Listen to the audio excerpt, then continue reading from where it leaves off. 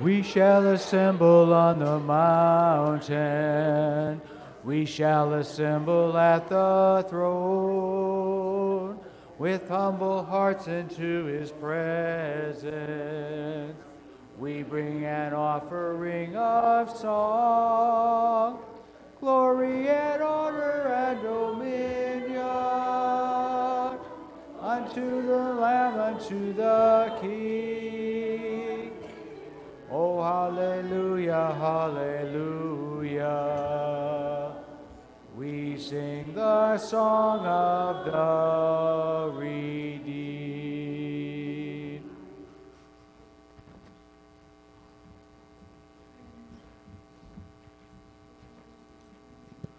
Good morning. Everybody rushing in this morning.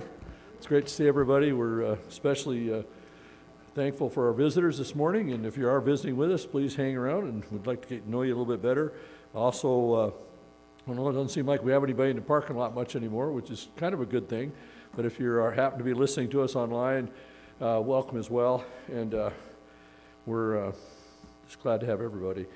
Uh, one prayer request that uh, just came in a little bit ago uh, that we want to share this morning is Norm Hilton. Tony had taken him up to the hospital uh, this morning with shortness of breath, so uh, we'll be praying. Uh, I've asked our prayer person to, when they come up to pray for Norm. Also, uh, we're excited to announce that Jean Johnston was baptized on Wednesday, uh, August 3rd. Please take a moment to welcome her. I, is she here? I don't, don't think I see her.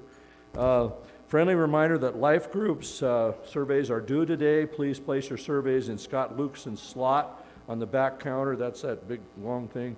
Or give them to Brittany uh, Montalvo.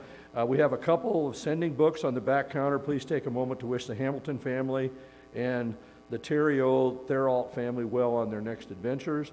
And uh, thanks for your generosity to the Montana State University Campus Ministry. Our special contribution now is at uh, $5,495. So that's pretty exciting. As you may have noticed, we are installing a ramp at the front of our office building. This will remove a long-standing safety issue and increase our mission opportunities. And uh, that's, uh, you know, that's needed to be done for a long, long time. I don't know if any of you ever tried going through the front door up over there, but the, but the top step was about this high. and uh, wasn't, it was a real hazard, and we've been wanting to get it done, so we're pretty excited about that. Uh, it's been long planned. Uh, Scott Lukeson is preaching in Lewistown this morning. Be praying for that. Also, uh, we're uh, well. There was a couple other things. I'm sorry, I'm spacing it out here. Uh, Scott, what was? Oh, the thing about the uh, office building. I already mentioned that. Uh oh. I'm not getting old. I'm just getting forgetful. Uh, I think that's it. So we'll turn it back. Let's all be standing for. you got a song, Ray, for our prayer?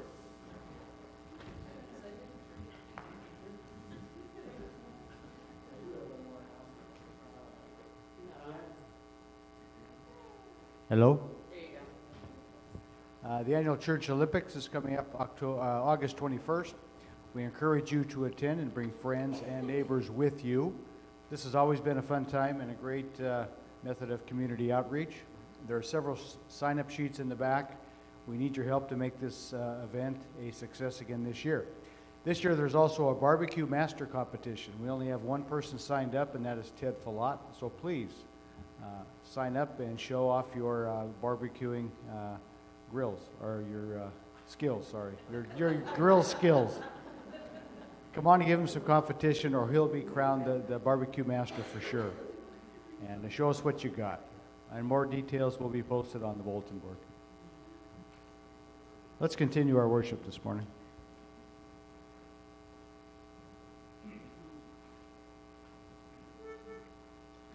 Light of the world, you step down into darkness. Open my eyes, let me see beauty that made this heart adore you. Hope of a life spent with you. Here I am to worship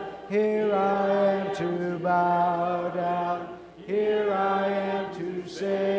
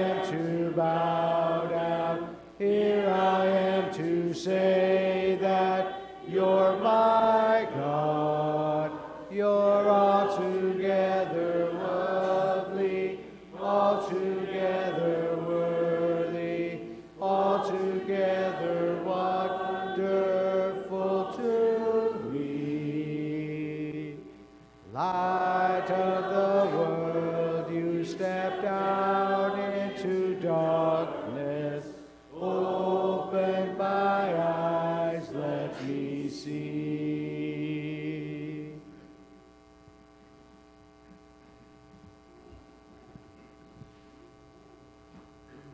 So, how many of you got sidetracked with the bicycle thing this morning?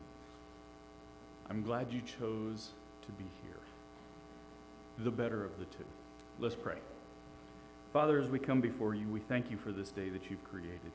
Father, we thank you for the sun that rose again this morning, that warms us, that gives us light. We thank you for creating each and everything. And we thank you for putting us in your creation to be assigned back to you, to be the glory for you, Father. Father, we ask that you be with Norm, that the doctors will find what's going on with his shortness of breath, that it'll be nothing, Father, and, and that he will be okay with that. Father, as we enter into this period, we thank you for the word that you've given us. As we worship you, Father, it's our prayer that it be a sweet melody to you that it be pleasing to you, that we can take your word to hear it and to write it into our hearts, Father, that we can live it each and every day. We ask, Father, that you be with those who aren't here, that whatever's prevented them, they can overcome it, Father, in return. Whether it be physical or spiritual, we know you can heal them. Father, help us to be the people that you've called us to be. As we step out into the world, let them see the light you shine through us. Help us to bring souls to you, Father. We ask that you forgive us of our sin. In Jesus' name, amen. Please be seated.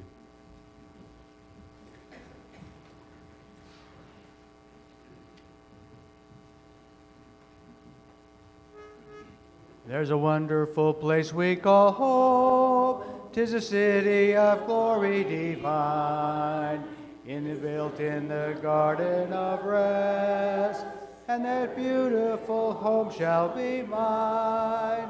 Oh, that wonderful Eden so blessed, where Jesus the Master has gone to prepare for us his glorious home. There he bids us a welcome to come. Oh, wonderful city of God, just across in that beautiful climb, where the angels' sweet echo of song in musical cadences chime. Oh, wonderful city of God, by faith in the distance I see. There's a mansion prepared over there. Yes, a place in that city for me. Oh, how sweet it will be there to dwell with the Savior and Father of all in a palace of diamond and gold, where no evil to us can befall. There no sorrow in home shall invade, and our loved ones there more no shall die. One celestial, unbroken, sweet day, while eternity's ages roll by. Oh, wonderful city of God, just across in that beautiful climb, where the angels' sweet echo of song in musical cadences chime. Oh, wonderful city of God, by faith in the distance I see. There's a mansion prepared over there. Yes, a place in that city for me.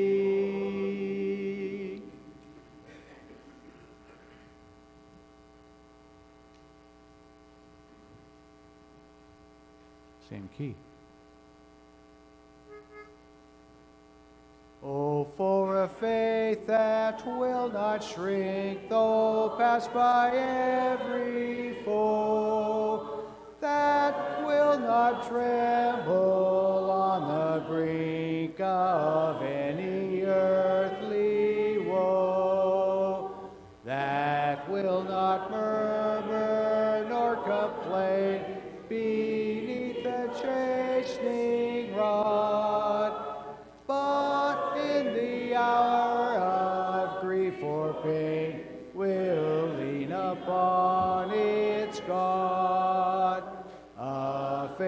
that shines more bright and clear when tempests rage without. That when in danger knows no fear, in darkness feels no doubt. Lord, give us such a faith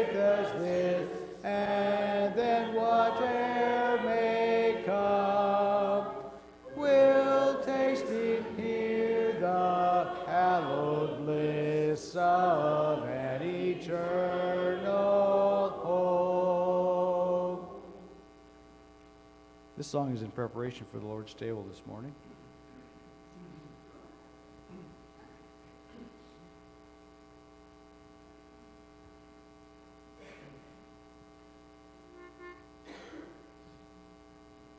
My precious Savior suffered pain, agony, he bore it all, that I might live.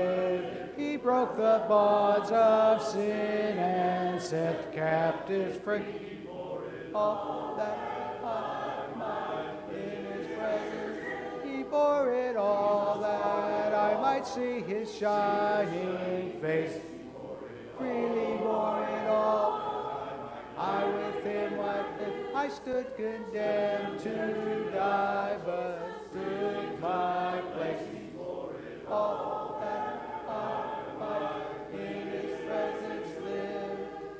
placed a crown of thorns upon the Savior's head. He bore it all, that I might live. By cruel man with spear his side was pierced and bled.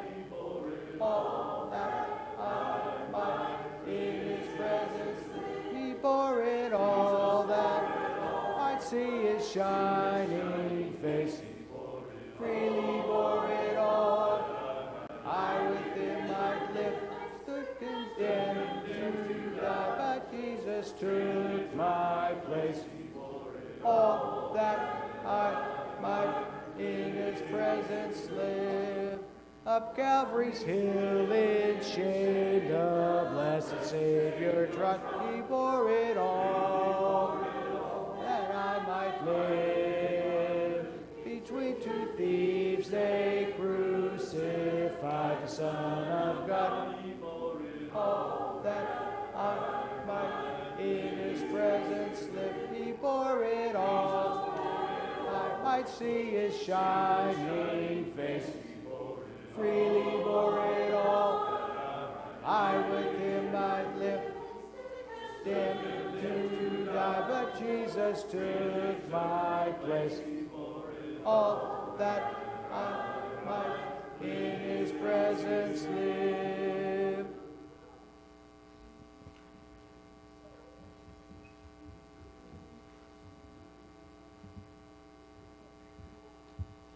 Good morning. It's great to see everybody here.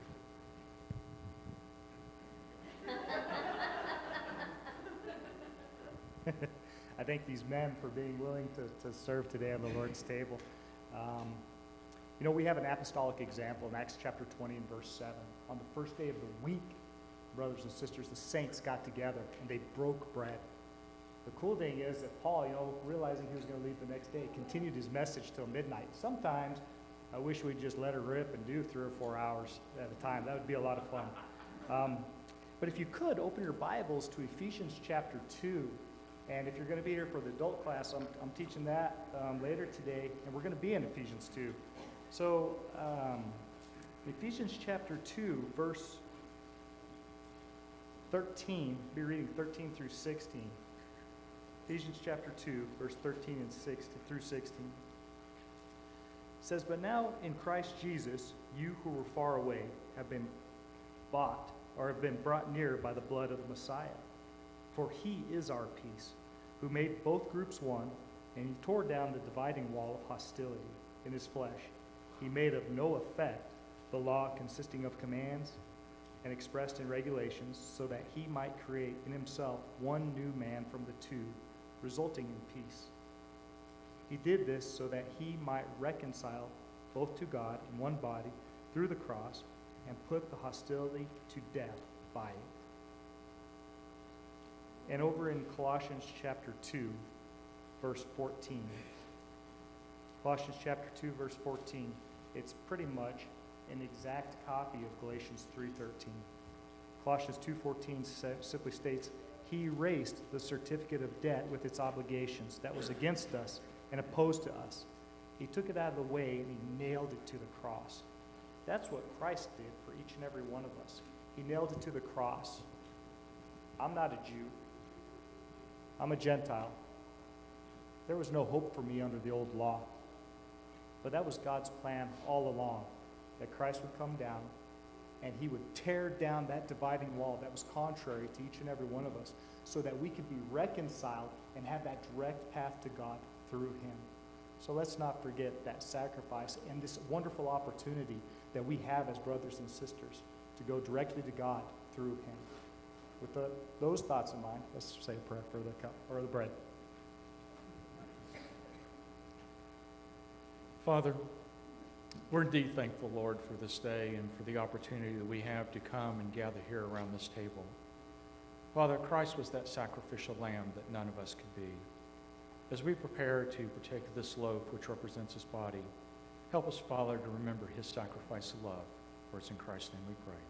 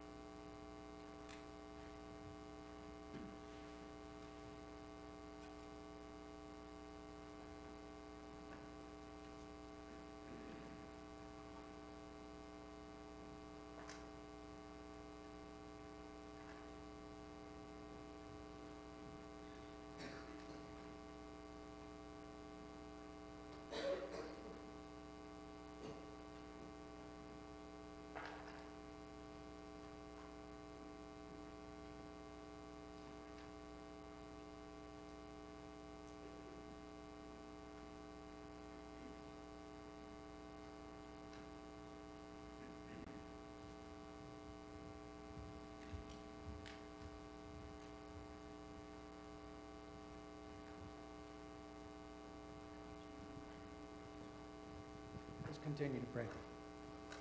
Our Father and our God, we thank you so much for the beautiful day you've given us, and especially for your Son.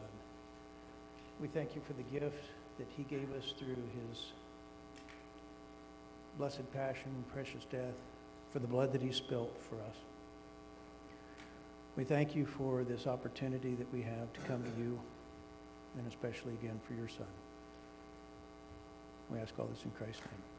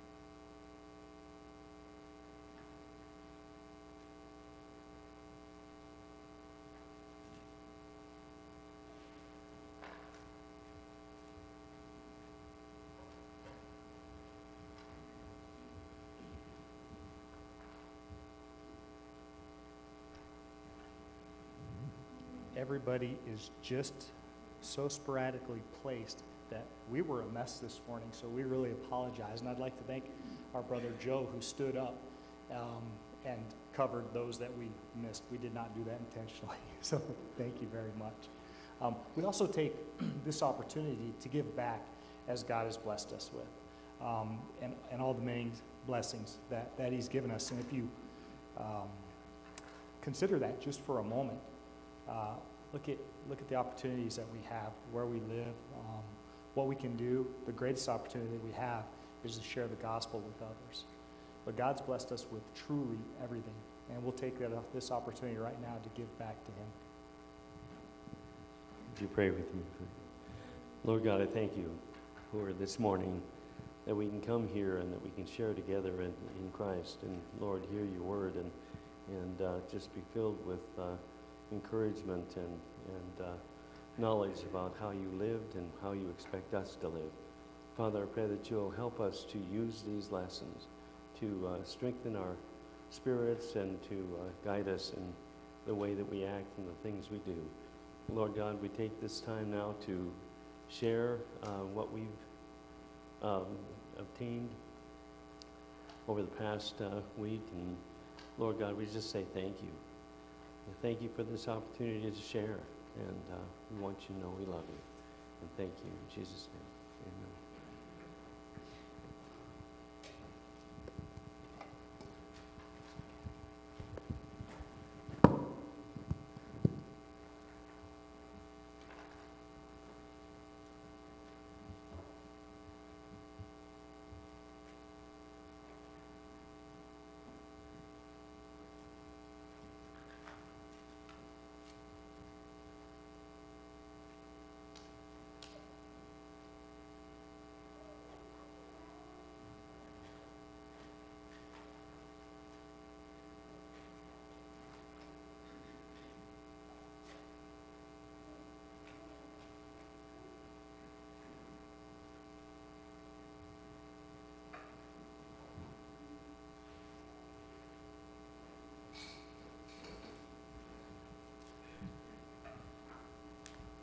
Good morning, everybody.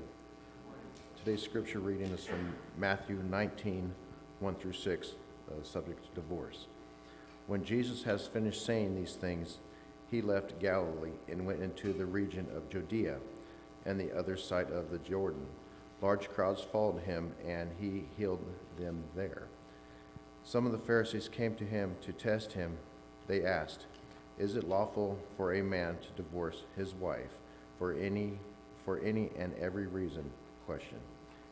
Haven't you read, he replied, that at the beginning the Creator made them male and female and said, For this reason man will leave his father and mother and be united to his wife, and the two will become one flesh. So, no, so they are no longer two, but one flesh. Therefore, what God has joined together, let no one separate.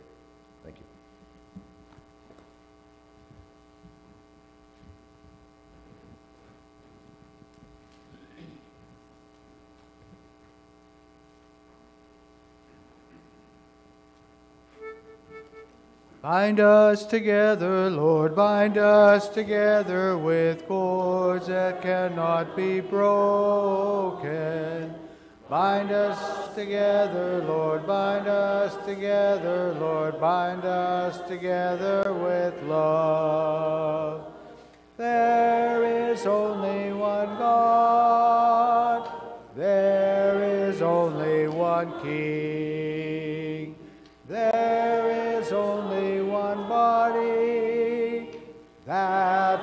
why we can sing. Bind us together, Lord, bind us together with cords that cannot be broken. Bind us together, Lord, bind us together, Lord, bind us together with love. Good morning. Thank you. Thank you, those who've led prayers and served around the table. It's great to have everyone out this morning, and welcome to whoever's on the line. But I'd like to begin with a text because it's, I guess, been resonating in my heart the last week. In Hebrews chapter 10, verses 24 and 25, the Hebrew writer would say, Let us not give up meeting together. as Actually, he starts before that, though. And this is the question for us. Because in verse 24, he says, Let us consider how we may spur one another on toward love and good deeds. So, a question for us as you prepared and got ready to come this morning and assemble with the saints, have you considered how you might spur another brother or sister on toward love and good deeds? Have you thought of somebody? Thought of a word of encouragement, a prayer that you've lifted up for them? Because our assemblies are meant to do that. It's not just to come to hear a sermon or to break bread, but we're meant to be a community. We're meant to be a community that sees the needs of one another. And that's not going to be done just through a few people. It's going to be thr- done as the entire community of God's people consider how we might spur one another on toward love and good deeds. And then he says, let us not give up meeting together, as some are in the habit of doing, but encourage one another, and all the more as we see the day approaching. And so may we use these opportunities when we come together to be a blessing into one another's life. So there's your first sermon. We're making a bit of a transition uh, in a lot of ways. Today is a transition in sermon topics. We've been talking about mission for the last, well, first part of the summer. In the month of August, we're going to focus on the idea of family. And I hope that you've been blessed in a way that many of us have been going through our prayer and share triplets. And as we've been going through those, especially as I've been going through it, I get together with Robert and I get together with Zach. It's made me appreciate all the different things that this congregation does and the direction that we're going. And I'm very thankful for, for Matt and Hannah being here and was reflecting that Matt, when we actually do preacher transition, uh, Matt is going to be about the same age that I was when I came here back in 1994.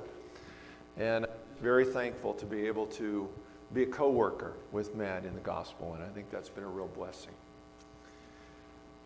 We talked about mission, though, and Matt and I share a common mission of trying to seek and save the lost, but also try to build up this body. Think about what we preached on the last while about people who go out into this community, not the church community, but go out into the world and are able to share the gospel, that we prepare or make enough rest or space in our life that we have opportunities, but that we also, as a church, are able to do what Jesus taught us to do in John chapter 13 and verses 34 and 35. That he says, All men will know that you are my disciples by your love for one another. That we're able to be a community that the world sees is different. Now, we're not going to agree on everything, but because of what we partook of in just, just a while ago, that we remembered the death, burial, and resurrection of Jesus, that binds us together in a way that the world does not have. And so we're able to love one another and to show that love towards one another in a way that the world can't, but in a way that the world wants. I do have a question before we get into today's text, though, and that is what are truths or concepts that began before sin? In other words, before Adam and Eve rebelled against God, and exist at the time when sin is no more. What are some truths or some concepts that exist before there was sin and when sin will be no more? I might need a little help on the first slide since this isn't going forward. Thanks, Diego. In other words, we want to talk about the start and the finish. What is there? Well, number one, I would say, is that God's the same. And it looks like I am stuck, Diego, so you might let me turn this off and on. God's one, but another concept is creation. If you think about creation, in Genesis chapter 1, we saw, see God's magnificent, just speaking everything into existence. In Genesis chapter 2, we see God getting intimate with his creation, getting his hands dirty in a sense of creating a man and a woman and the rest of creation. And when we come to Revelation, the end of Revelation, what we see is, and we'll read this in a little bit, about the idea of a new heaven and a new earth. We still are going to be going to heaven, but what's happening is Jesus is able to reverse all the curses that came about because of sin. If you think about it, first curse is we were separated from God. And so we're going to be God's people. We're going to be in the presence of God. Another is we messed up our relationships with one another, and yet we're going to be the family of God. We got messed up, you know, as individuals. You could call it psychological in the sense that before sin came in, there was no shame. And yet, when sin came in, there was that issue of shame. And also, our world has been in a position which, where it groans, looking forward to the time when Christ comes again, is what Paul would say in Romans chapter 8. And with the coming of Jesus, all of that is going to be renewed. But there's another one, and I need to forward there marriage, a wedding. Listen to what the text says. Let's go to Genesis chapter 2. And here's what the second half of verse 20. But for Adam, no suitable helper was found. This is after all the animals had been created. So the Lord God caused the man to fall into a deep sleep. And while he was sleeping, he took one of the man's ribs and then closed up the place with flesh.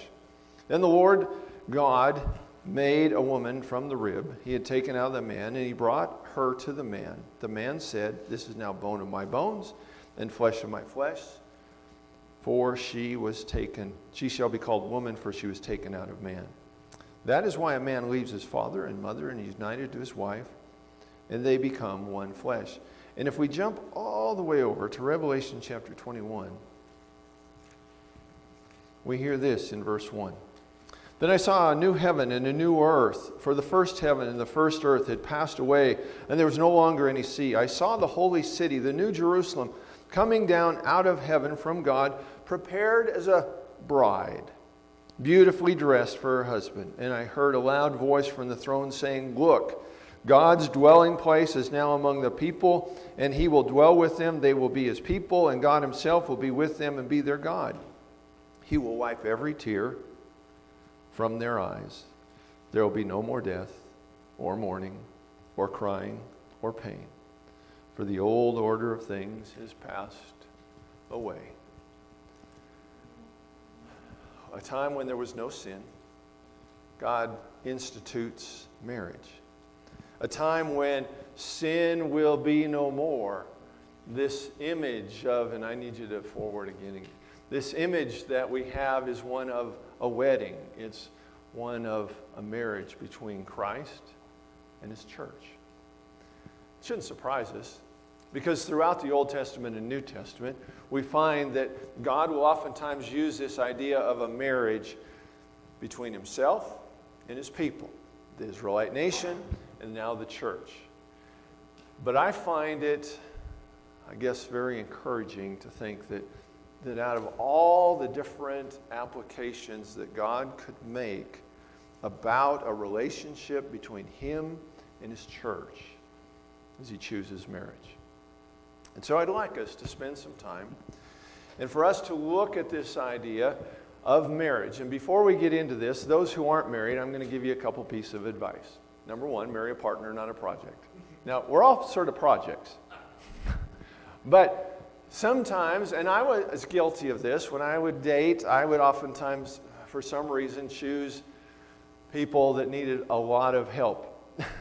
and yet, no, I needed a lot of help too, but when I became a Christian and made a decision I wanted to follow after Christ, it dawned on me that if I'm going to be faithful and accomplish all God wants me to do, I need to find a partner.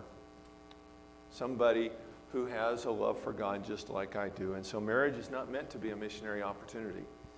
It's not meant to be an opportunity where you have marry a non-Christian and hope that they later become a Christian.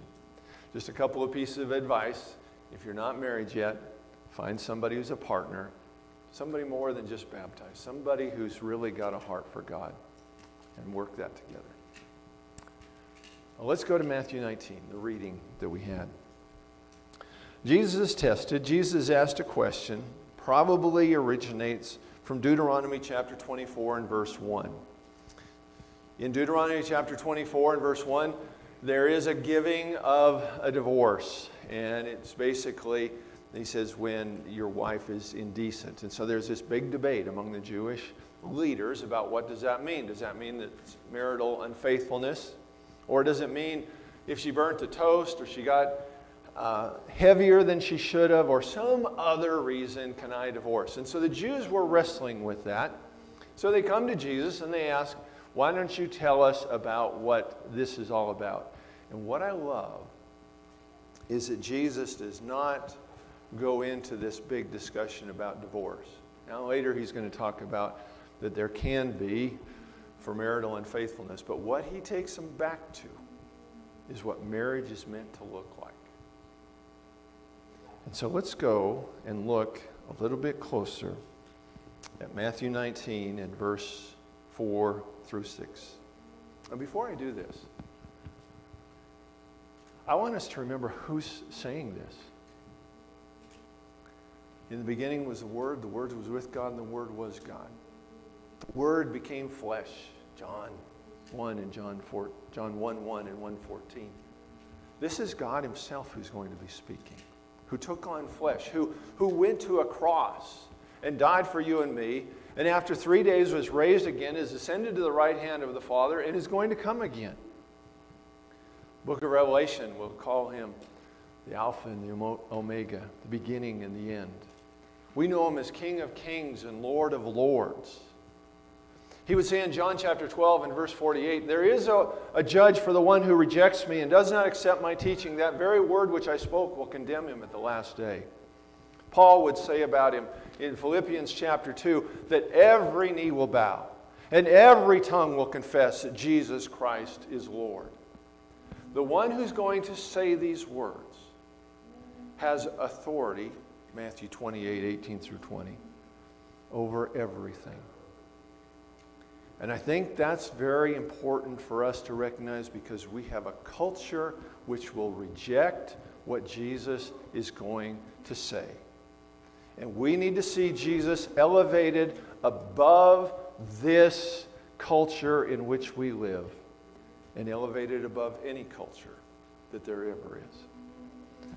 And so, our Lord says, Haven't you read that at the beginning the Creator made them male and female and said, For this reason a man will leave his father and mother and be united to his wife? And the two will become one flesh. So they are no longer two, but one flesh. Therefore, what God has joined together, let no one separate. Just a few principles as we go through this. Number one, Jesus says that marriage, God's plan for marriage, transcends culture. He's saying this in the first century, and he's able to go back and look all the way back to creation. And he says it doesn't matter whether it deals with Jewish culture, it doesn't matter if it deals with Jewish law, it doesn't matter if it's dealing with the patriarchal systems. This was God's plan. I think this is so crucial at the very beginning for us to understand is that God's plan for marriage, how would I say it? It stands over anything culture has to say. So if you have culture, this hand of mine, here we have now God's teaching about marriage, which is meant to trump anything that our culture says. Jesus says at the beginning that his definitions, God's definitions, transcend culture. But then he brings out this concept. He says, the Creator made them male and female. The issue of same sex marriage is not new in our culture today. Nero actually married two men. He marries Pythagoras. Tacitus writes about this, if you want to look it up in his annals. In that marriage, Nero took the form of the bride. He also then later on married a fellow by the name of Sporus. In this one, he took the position of the groom. Supposedly married this young man because he looked like one of the wives that he'd had before. Maybe that's why Paul writes into Romans chapter 1 to the church at Rome about the issue of homosexuality, that, that that is against God's will, because all of a sudden this church, this culture is pushing so much that even the, the rulers and the leaders of this country are saying it's okay by their example. But here's something I want to encourage us on. People who struggle with homosexuality are not to be rejected, they're to be welcomed. We don't accept that behavior, but we welcome them, teaching them the gospel with the hope that they change. And here's what Paul says about it in 1 Corinthians chapter 6. And I think it's good for us to remember. Verse 9, he says, Or do you not know that wrongdoers will not inherit the kingdom of God? Do not be deceived, neither the sexually immoral, nor idolaters, nor adulterers, nor men who have sex with men, nor thieves, nor the greedy, nor drunkards, nor slanderers, nor swindlers will inherit the kingdom of God. And that's what some of you were. So he's writing to the church and says, Some of you were a bunch of this stuff. But you were washed, referencing their baptism. You were sanctified. You're made holy. You were justified. God makes you just like you've never sinned. In the name of the Lord Jesus Christ and by the Spirit of our God. I would assume if we were to take a, a poll among us of who has struggled with sexual immor- immorality before they became a Christian, there'd be a number who would say guilty. I would guess that all of us, in some way, have wrestled with idolatry, making something more important than God. There are probably some who have struggled with adultery, some who have stolen, some who have been greedy, some who have been drunk, some who have slandered, and some who are swindlers. If they're welcome in the body of Christ because of the redemptive power of Jesus, then somebody who has struggled with homosexuality and has left that behind, they are welcome in the body of Christ as well. But same sex marriage is rejected. Those who embrace it, we still need to love them and encourage them to turn towards God. But that is not God's plan for marriage. So, hear me, because I know some families within this body, this is a struggle, that I'm not trying to just, you know, be harsh, but I'm trying to be true. And Jesus says, okay, I'm going to point to where marriage is meant to be, and it's meant to be between a man and a woman. He then goes on, and he talks about this idea of leaving and cleaving that a marriage relationship is meant to be the most important physical relationship that we will have. It is more important than our parents, it is more important than our children. That making that relationship between the husband and wife is the crucial gift we can give to our children and we can give to the rest of our world. There's also another leaving and cleaving. We need to leave the trap that marriage, or let me put it a different way, we need to leave the temptation that I deserve to be happy. Because so many people will say, I'm not happy in this relationship, and so I'm leaving this marriage so I can be happy. There's a leaving of that. When you made a decision to follow after Jesus Christ, it was deny yourself, take up your cross, and follow Him. But our culture keeps hitting us with that. If you're not happy, go ahead and find somebody else.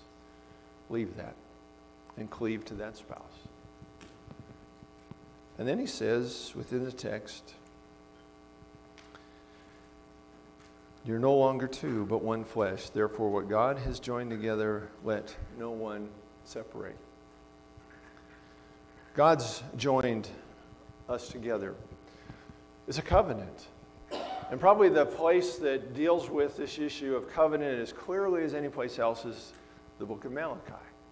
In Malachi chapter 2, and I'm just going to read a couple of the texts there, but in chapter 2 and verse 14, God is telling the Israelite nation, The Lord is the witness between you and the wife of your youth. And then he goes on and he says, still in verse 14, the wife of your marriage covenant.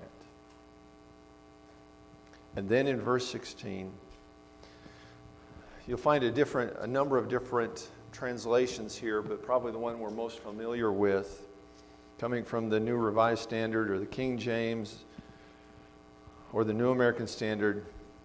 For I hate divorce, says the Lord. Is that God is saying, I have covenant, I've been involved in this relationship, and I want you to make this thing work which is exactly what we see Jesus saying. one of the stories. And if you've been here for over 10 years, you've heard me say this story, but I haven't said it recently. Just like it's probably about time I tell my golfing story that I spent the maternity Monday, um, that you can be forgiven in a marriage, but that's not today's lesson. Um, a family, a couple that I know, she had watched her parents. The parents hadn't been very good, so she wanted to marry a godly man. She's a Christian. She wants to marry a godly man, so she thinks, I'll marry a preacher. Well, preachers aren't perfect in any way, shape, or form. And after they got into their marriage relationship, they fought. Got to the point that he would take off his ring and he'd throw it across the room at her. They prayed. They knew that God hated divorce and God had joined them together. So her prayer was that God would kill her so that her husband could remarry and find somebody to work with. The husband wasn't as generous. He prayed, God, kill one of us. I mean, she was willing. She said, you know, take me out. He said, your choice, God. I, you know, it's probably going to be me, but your choice. They came to a conclusion. They understood this that God has joined us together. We're not going to separate. And they came to a conclusion if we work as hard at putting our marriage together and having a great marriage as we do in fighting each other, what might God do? And they have got one of the most beautiful marriages that I have ever seen because they understood that God had joined them together and saying, man must not separate. And they were willing to do whatever it took to put that together. But I have something to introduce to you as well. It's the idea of further revelation. And what I mean by further revelation is not that we're getting a new word of the Lord. There's not uh, a book of First Scott or anything like that coming out. But the idea of further revelation is how does an inspired writer, in our situation, it's going to be Paul, how does an inspired writer apply the teachings of Jesus? That's the idea of further revelation. So we've got, we've, we've explored the teachings of Jesus. So, how does an inspired writer apply that? And I'd like us to turn over to 1 Corinthians chapter 7. Beginning in verse 1, it says, Now for the matters you wrote about. So the church at Corinth is written to Paul. The first part of 1 Corinthians chapter 7 is he's heard information from Chloe's household. But now what we're dealing with is they had some questions. They had some questions about marriage. And so we jump over to verse 10. In verse 10, it says, To the married I give this command, not I, but the Lord. Okay, got to remember here who's this letter written to? Is it written to, to the community at Corinth? No, it's written to the church at Corinth. And so the context, when he says to the married, he's writing to a Christian married to a Christian. And he says, not I, but the Lord. So he is pointing back to whether it be in Matthew 19 here or in Mark or in Luke, he's pointing back to what Jesus has already taught. He says, Not I. The Lord's already taught about this. He's already taught about covenant people. And this is what he says A wife must not separate from her husband, but if she does, she must remain unmarried or else be reconciled to her husband. And a husband must not divorce his wife. I'd like to read, and I probably should have put it up here on the screen, but this comes from uh, Richard Oster, Dr. Oster. He was one of my professors, one of Matt's professors at Harding School of Theology. He's our Greek professor. He's the one that I had Greek readings, and you had to memorize every Greek word within the New Testament that was used five times or more, which is a whole lot. And this is what he writes about this. He wrote a commentary on 1 Corinthians. He says, even though translations often render the Greek word chorizomai as separate, which it clearly can mean, in Greek literature and legal documents, it also existed as a technical term for divorce. One must be careful not to impose a modern legal understanding of marriage and separation onto Greco Roman jurisprudence. The Greek word chorizomai is also used of the dissolution of a marriage between a believer and a non believer when the non-believer wants to end the marriage. 1 Corinthians 7:15. Moreover, Paul refers to the marital status of the woman who initiated the action of chorizomai, separation, as unmarried. And so, here's as we take a look at this, he says, okay, a wife can't separate from her husband. A Christian wife can't separate, can't divorce her husband. Then he says, okay, if she if she rejects that teaching, if she disobeys that teaching, here's what has to happen. She has to remain unmarried or be reconciled. Those are the two options for a Christian married to a Christian. And then he says a husband cannot divorce his wife. So, what we see within this application is that Paul is making it very clear that Christian married to a Christian coming into this covenant relationship, that bond is not meant to be broken.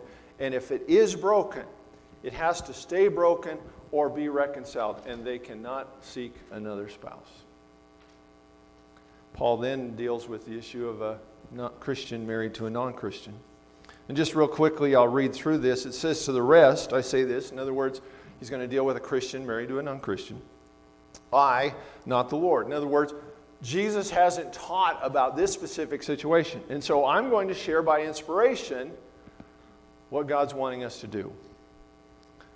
And that's why he says I. Okay, not meaning he's stepping out of inspiration. He's just saying Jesus hasn't taught about this. So let me share with the church by inspiration what they need to do. If any brother has a wife who is not a believer and she is willing to live with him, he must not divorce her. And if a woman has a husband who is not a believer and he is willing to live with her, she must not divorce him. For the unbelieving husband has been sanctified through his wife, and the unbelieving wife has been sanctified through her believing husband. Otherwise, your children would be unclean, but as it is, they are holy. But if the unbeliever leaves, let it be so. The brother or sister is not bound in such circumstances. God has called us to live in peace. How do you know, wife, whether you will save your husband, or how do you know, husband, whether you will save your wife? So, a Christian married to a non Christian, stay in there unless that non Christian leaves.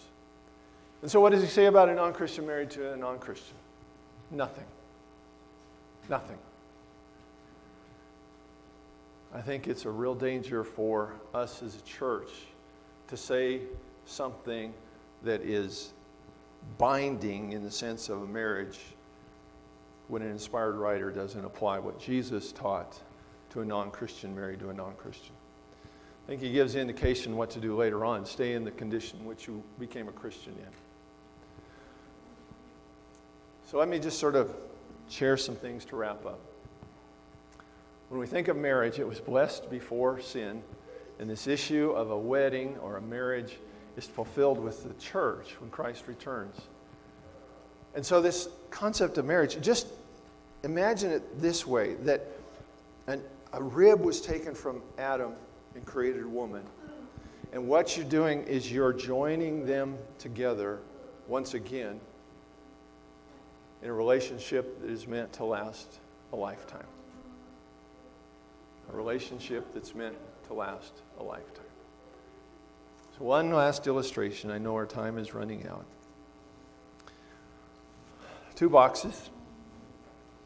Sadly, in our culture today, what, we're, what we've taught, and just our culture has taught it, I'm not saying it's church we've taught it, that we look out for someone who we will marry in the sense that they're the bigger box. They, they're more beautiful than anybody else.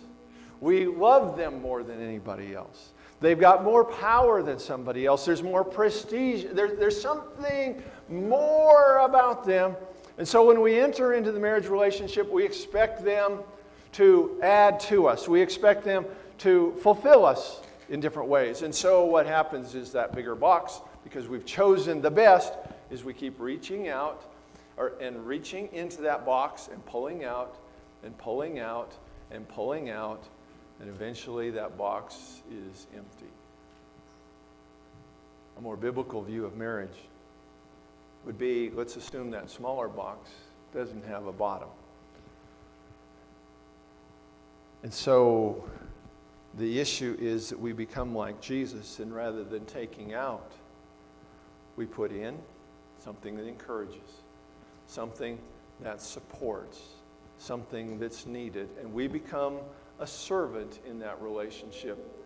And when we choose to be servants rather than the ones who are served, I believe that we're able to live those kind of marriages that Jesus said that at the beginning God made them male and female. And this is meant to last for all eternity. For even the Son of Man did not come to be served, but to serve and to give his life as a ransom for many. May our marriages show that. May the way we treat each other glorify God and bring honor and glory through our homes to God. If you have a need today, this has been more of an instructive sermon, not so much a moving, but if there's some need for prayers, why don't you come? Just together we stand and sing. Have thine own way, Lord, have thine own way. Art the potter,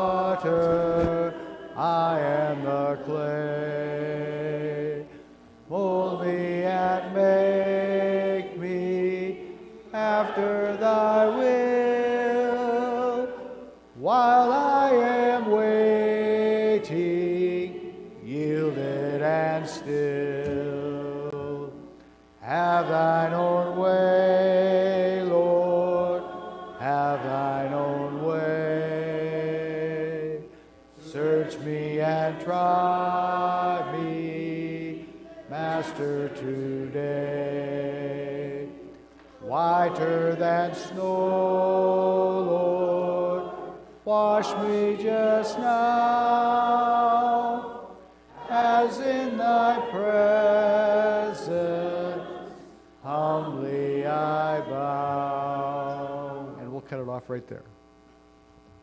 Please be seated.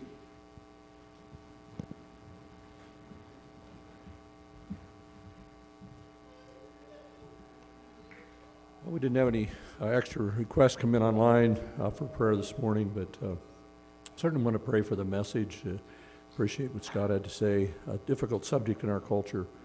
um, Something that probably has affected all of us directly or indirectly at some time. Um, God is good. God knows the right way to- for things to work, and they don't work very well when we don't do them His way. It's really as simple as that. Thanks for a message, Scott. Let's pray.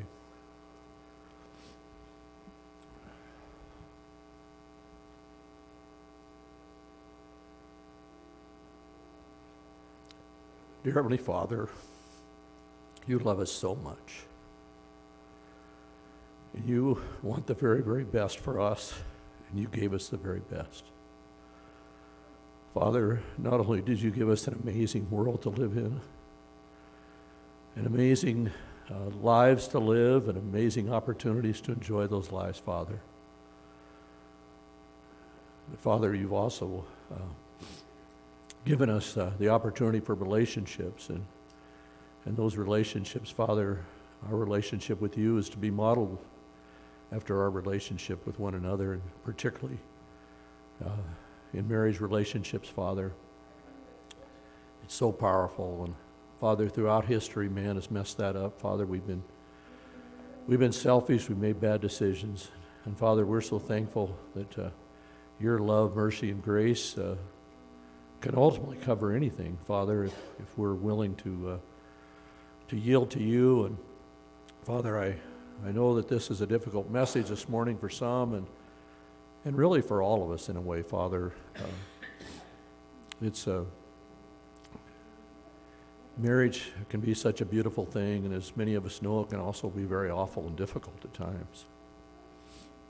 But Father, uh, this really is an amazing, amazing uh, place that we live in, and our lives can be so very, very amazing and, and so very good and, and so bountiful in so many, many ways when we just live and do things the way that you've instructed us to, Father.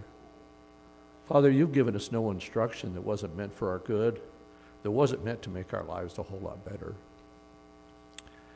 Father, I just pray that uh, you would be with uh, each and every one of us, Father, wherever uh, we're at in our lives and in our relationships, whether we're still single, whether we've struggled, whether we've been divorced, whatever the situation is, Father, to, to reach out to you and to, and to understand and to, how much you love us and care for us. And you always, every, every minute of every day, Father, you want the very best for us. And Father, I pray that you'd forgive our culture that has uh, gone so far, like so many cultures throughout history have, so far away from your plan. Father, help us to be your vessels for honor and, and your examples for honor and, and, uh, and certainly for healing and uh, for restoration uh, to a country and to a world that so badly needs that. Father, uh, your plan is so good and it's so amazing when we follow it. And just like even in Pam and I's relationship, we've had our struggles. God, thank you for giving me such a godly wife.